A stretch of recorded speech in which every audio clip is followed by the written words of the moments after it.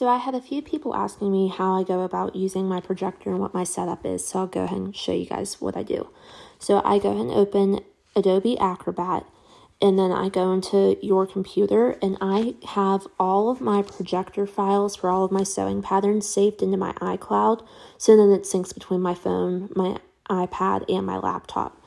So then you just go ahead and do Browse, and then you can select for your iCloud and then I just have mine in a folder labeled patterns. So then I can go through and select which pattern I want. I'd say about 90% of my patterns are from Lowland Kids, Samantha Marie Designs, or Petite Stitchery & Co.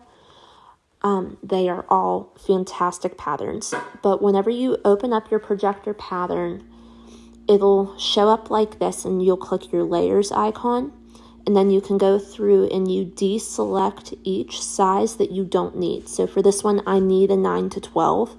So I will leave the little eyeball on for the 9 to 12 and deselect everything else. Now I have my projector calibrated so I know everything needs a 37% zoom.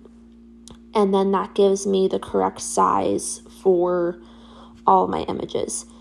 So whatever you see on the laptop screen is then projected down. I have an ultra short throw projector that I got from eBay. I paid about 50 bucks for it on eBay.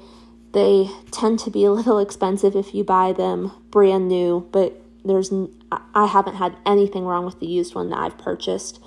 Um, my husband made me a little stand for it because the bottom of them is a little rounded, so you need to have it all leveled out.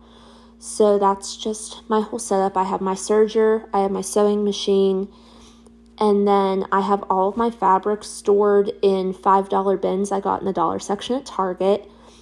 And this is the setup that we're working with for right now.